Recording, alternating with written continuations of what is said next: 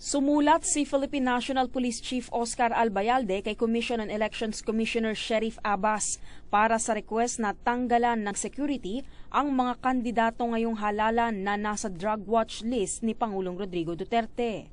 Kinumpirma ito ni Abbas sa National Joint Security Control meeting nila kasama si Armed Forces of the Philippines Chief of Staff Benjamin Madrigal para sa midterm elections sa Mayo. Pero nilinaw ni Albayalde na personal security na kadalasay nasa dalawang personnel ang gusto niyang tanggalin sa mga kandidatong kasama sa watch list at hindi ang crowd security na ibinibigay tuwing nakikipag-coordinate ang mga ito sa local police. Kasi merong baka merong nakapag-apply before at na napirmahan namin at uh, nabigyan na ng temporary security dito sa sinasabing narcolis at na-submit natin sa COMELEC.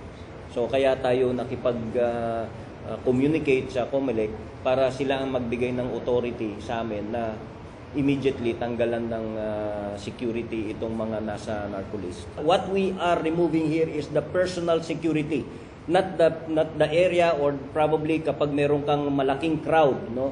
Uh, hindi natin pinagbabawal na merong mga area security coming from the either from the armed forces or from the Philippine National Police. What we are removing here is the parang personal bodyguards that goes with the that goes around with the candidate every time na he goes with his sorties or campaign sorties. Nang tanungin na baka malagay sa alanganin ang buhay ng mga kasama sa narcolist, sagot ni Albayalde, Well, lahat naman eh. Lahat ng mga kandidato, they think that they are all vulnerable in attacks. Pagdidiin ni Albayalde, ebidensya ng maituturing ang pagkakasama ng mga kandidato sa narcolist para tanggalan sila ng security. Matatanda ang nasa tatlong daan ang kasama sa narcolist ng Pangulo. Ipinauubaya na ni Albayalde sa COMELEC ang desisyon sa kanyang request na tanggalan ng security ang mga kandidatong kasama sa narcolist. Sinabi naman ng COMELEC na pag-uusapan ito ng ANBank. I-assess nga namin yung letter ni General Albayalde. Ha? So tingnan namin kung anong magiging uh, decision namin. Sa ngayon, satisfied naman ang COMELEC sa seguridad ng midterm elections. On the security aspect, masyadong masaya kami dahil sa report ng PNP as well as AFP, manageable po yung uh, security uh, problem natin sa buong Pilipinas. Tiniyak naman ng AFP at PNP ang pagiging non-partisan ng kanilang hanay.